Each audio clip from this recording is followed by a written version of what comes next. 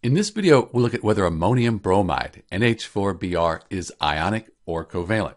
So when you look at it, you see you have nitrogen here, that's a nonmetal. Hydrogen over here, that's also a nonmetal. And then bromine, that's a nonmetal as well. So we have three nonmetals bonded together. So you would think when you have nonmetals bonded together, you end up with a covalent, also called a molecular bond. But in this case, NH4Br, that's an exception. And to understand the exception, we have to understand the ammonium ion, NH4+. So NH4 right here, this is a polyatomic ion, and the whole ion has a positive charge. That's on the whole thing. Little plus out here, 1 plus.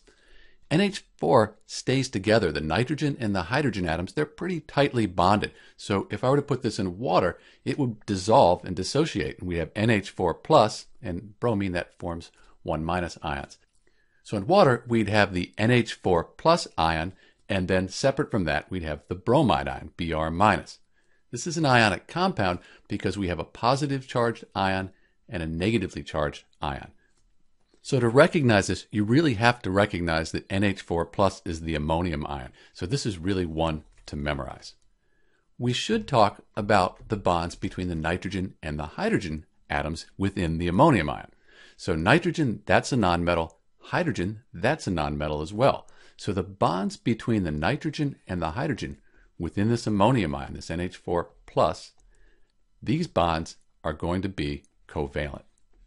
That's also called molecular. So we really have both types of bonds. We have our covalent bonding between the nitrogen and the hydrogens, and then between the ammonium ion and the bromide ion, we have our ionic bond. So overall, it's an ionic compound and contains covalent bonds with the NH4.